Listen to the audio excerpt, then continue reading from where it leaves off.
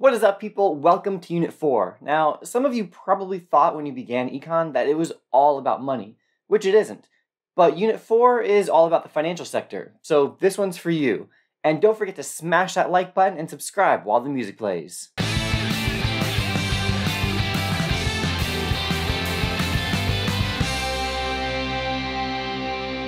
Alright, so in this unit, we're going to discuss various types of financial assets. Money, how money gets created, the price of money, and the market for money. Yeah, there's a market for money. So let's start with financial assets and with the fundamentals of the financial markets. Let's begin with money. For now, when I say money, I'm referring to cash and to money in your checking account at the bank, which we call demand deposits, because, well, you can walk into a bank at any time and demand to receive your money. Good? Demand deposits. Okay, so why do people want money? What are the pros and cons of having money? Well, the answer to the first question is obvious and is really important later in this unit. People demand money so that they can buy stuff. The biggest pro to having money, then, is that you can easily spend that money and get something else that you want. Whether it's a bag of chips, a day of skiing under gorgeous blue skies, or some shiny new Bitcoin. So let's put a vocab word to this. What I'm describing is liquidity, which refers to how quickly a financial asset can be converted to cash. Since money includes cash and bank deposits that you can spend using your debit card, money is the most liquid financial asset that there is. Other financial assets aren't as liquid. For example, money in a savings account is pretty liquid, but you have to transfer it into your checking account before you can spend it. So it's highly liquid, but not as liquid as cash.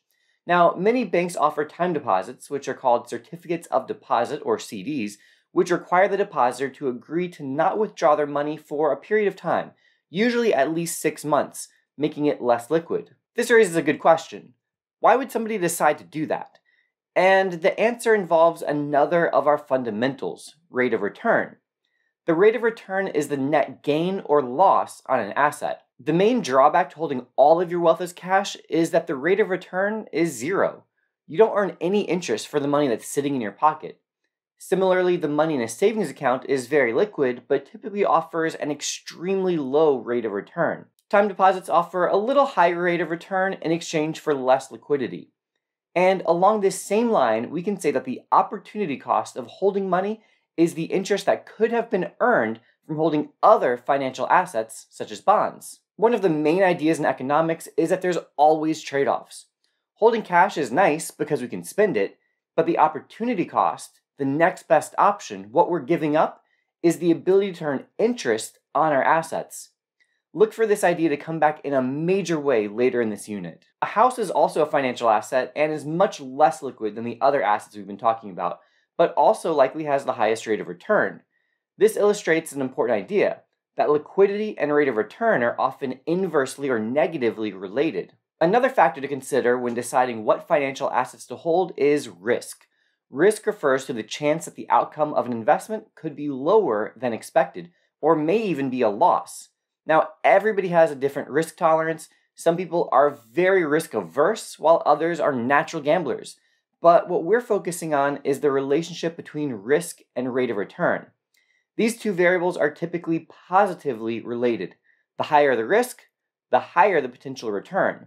This is pretty intuitive. Imagine I wanted to convince you to risk all of your life savings. And for the sake of this, let's pretend that you're a little bit older and that you've worked hard to accumulate those savings over many years. If I offered you a 10% chance of earning a whopping 1% reward, would you be tempted? Nah, that's easy. Hard pass. But instead, imagine I was offering you a 5% chance to be a billionaire. Well, now I might have your attention.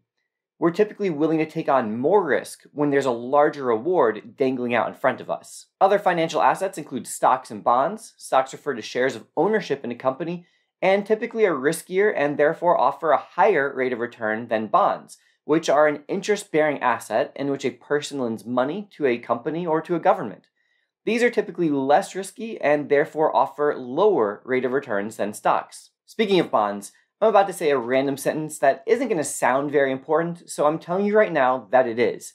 The price of previously issued bonds and interest rates on bonds are inversely related. Later in this unit, we're going to focus a lot on interest rates, And so, for whatever reason, College Board loves to ask questions about what will happen to interest rates and bond prices. And there's your answer. Whatever happens to interest rates, the opposite will happen to bond prices. For those very inquisitive types among you, always thirsting for knowledge, I know you want to know why. The basic explanation is this the way a person makes money on a bond is by the interest rate they receive. So let's say that in 2022 you bought a 10 year bond that pays 4% interest, and now in 2023 the interest rate being offered on bonds falls to 2%. Well, now that bond you're holding from 2022 is more desirable. Investors would rather have your 4% bond than the new 2% bond, and as a result, they will bid up the price of the old bonds. That's the idea. I've never really seen the AP exam expect you to understand it, but there it is. Alright, so I think that's probably enough of that. So until next time, this has been a LaManna production. Thanks again for watching. Make sure to like, subscribe, and ring the bell. And check out the description for a link to the answers to the practice questions on the screen, as well as the unit notes and a great review book that I've written for you. And I will see you in the next video.